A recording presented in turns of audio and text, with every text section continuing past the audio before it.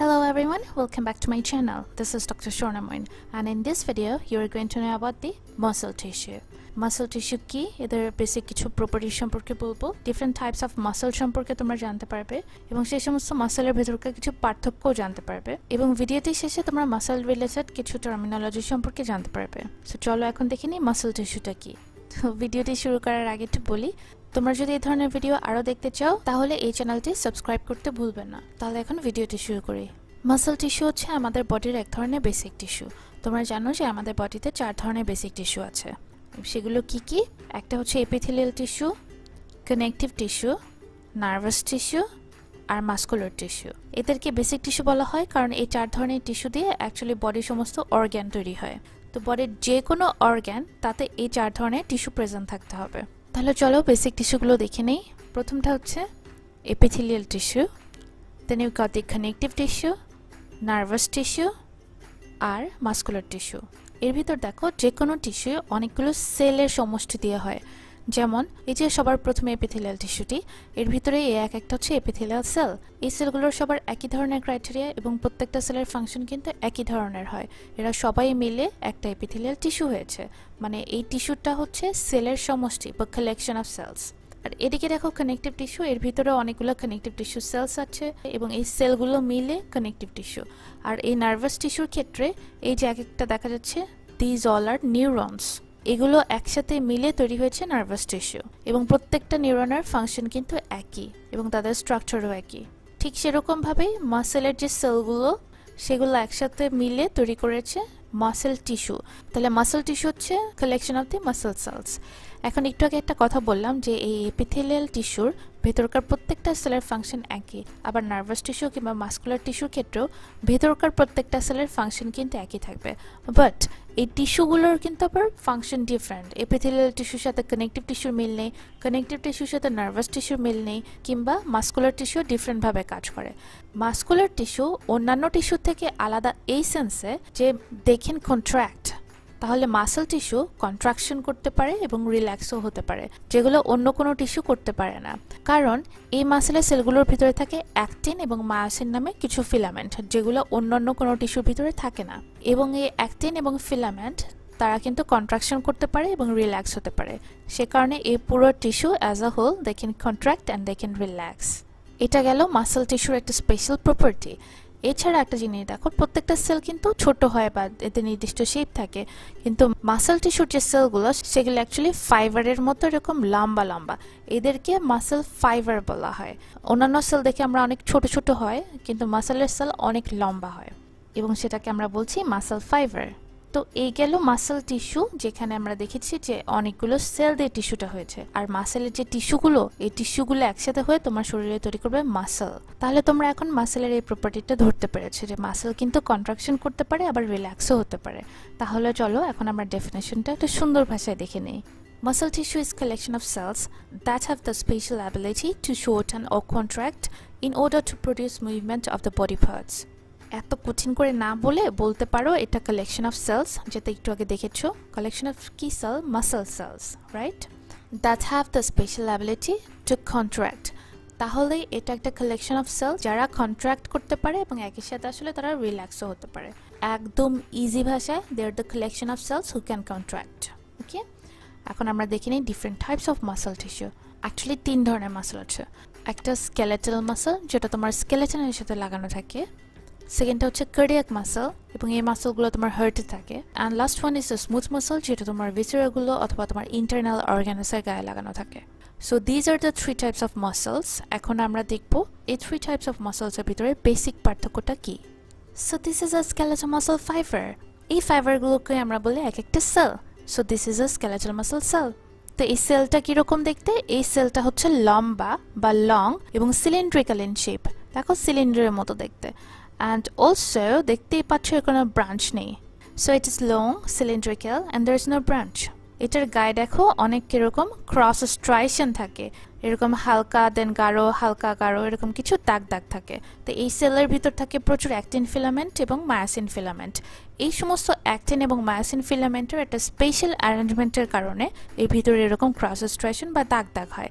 এবং আমরা যখন স্কেলেটাল মাসেল নিয়ে একটু ডিটেলসে আলোচনা করব, এর পরের ভিডিওতে তখন তোমরা সেটা জানতে পারবে।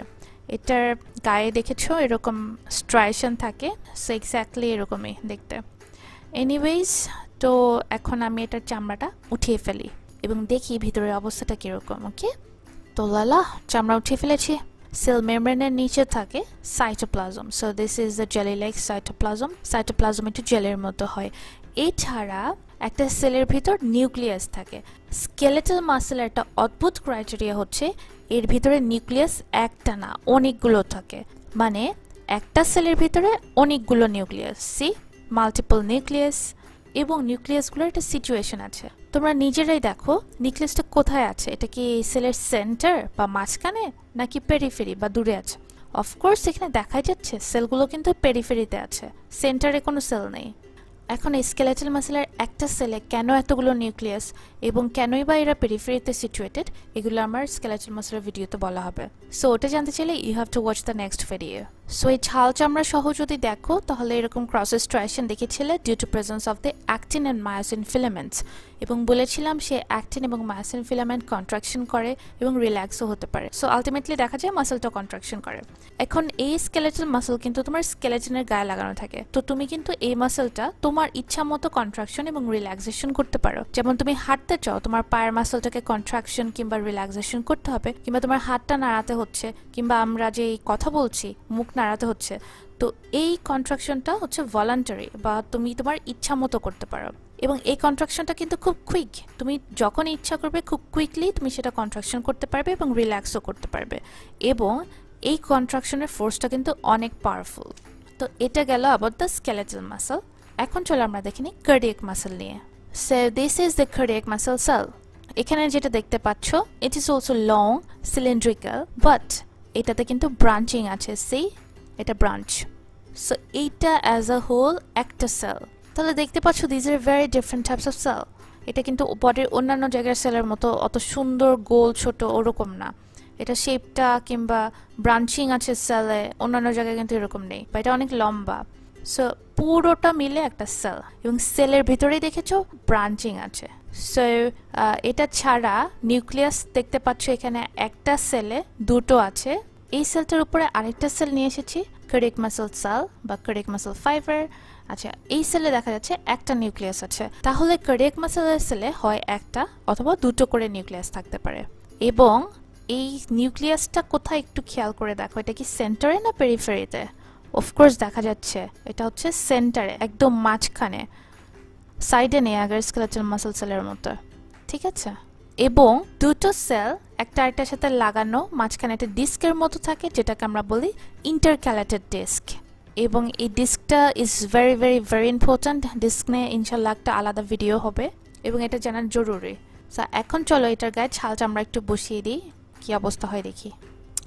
সে দিস ইজ ছাল চামড়া সহ কার্ডিয়াক মাসেল সেল এখানে দুটো সেল দেখিয়েছি আসলে। দুটো সেলের জাংশনে একটা ডিস্ক দেখতে পাচ্ছ which is known as intercalated disk আর দেখতে পাচ্ছ, এটার গায়ে কিন্তু সে আগের স্কেলেটাল মাসেলের মতোই প্রচুর ক্রস স্ট্রাইশন দেখা যাচ্ছে। এই স্ট্রাইশনগুলো হয়েছে for special arrangement of the actin and myosin filaments within them যেহেতু অ্যাক্টিন মায়াসিন আছে এর ভিতরে, সেহেতু এরা কন্ট্রাকশন করতে পারবে। এবং তোমরা জানো, এই মাসেলের সেলগুলো তোমার হার্টে থাকে। এবং তোমার হার্ট কিন্তু তুমি তোমার ইচ্ছা মতো কন্ট্রোল করতে পারো না। ওটা কিন্তু তার মতোই কন্ট্রাকশন এবং রিল্যাক্সেশন হয়।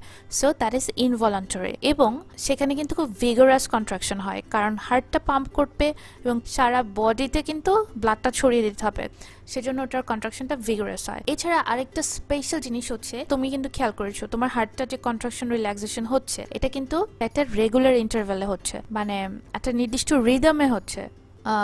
বলে না যে এক মিনিটে আশি বার কন্ট্রাকশন করছে, এবং এটা খুব সুন্দর একটা রিদম মেনটেন করে। সো এই সেলগুলো ইনভলান্টারিভাবে কন্ট্রাকশন হয় এবং রিদমিক একটা প্যাটার্নে কন্ট্রাকশন হয় এবং সেটা ভিগোরাসভাবে হয়। এখানে আরেকটি জিনিস যেটা বলছিলাম যে এই দুটোর মাঝখানে যে ইন্টারক্যালেটেড ডিস্ক থাকে, সি জাংশনে কিন্তু এই স্কেলেটাল এদের জাংশনে কিন্তু কোনো ইন্টারক্যালেটেড ডিস্ক থাকে না। See there is no intercalated disk between them ওই কালোটাদের জাস্ট একটা জাংশন মার্ক দেখিয়েছি। ওকে অফকোর্স এখানে জাংশন থাকে but that is not intercalated disk এটা হলো about the cardiac muscle so let's see about the smooth muscle so this is the smooth muscle cell এবং দেখতে পাচ্ছ দিস ইজ নট সিলিন্ড্রিক্যাল এটা কিন্তু শেপটা ফিউসিফর্ম সো ফিউসিফর্ম শেপের একটা সেল এবং নিউক্লিয়াসটা দেখো ওভাল শেপের এটা কিন্তু পেরিফেরিতে নেই, এটা আছে centrally see at the center okay এবং এই সেলে কোনো ব্রাঞ্চিংও নেই। তো এটাতে চামড়া নেই চামড়াটা সহ দেখি কীরকম লাগে। So if you see the texture outside there is no cross striation see কোনো ক্রস স্ট্রাইশন নেই। So this is a smooth muscle cell আমার মনে হয় এটার টেক্সচারটা খুব সুন্দর বানাতে পেরেছি। I am really happy with this model এখন, এই মাসেলের সেলটা এটা থাকে তোমার ভিসেরার গায়ে বা ইন্টারনাল অর্গানসগুলোর গায়ে। এবং তোমার ভিতরকার যে ভিসেরাগুলো তুমি সেগুলোকে কন্ট্রোল করতে পারো না। সেগুলো তাদের মধ্যে কন্ট্রাকশন বা রিল্যাক্সেশন হয়।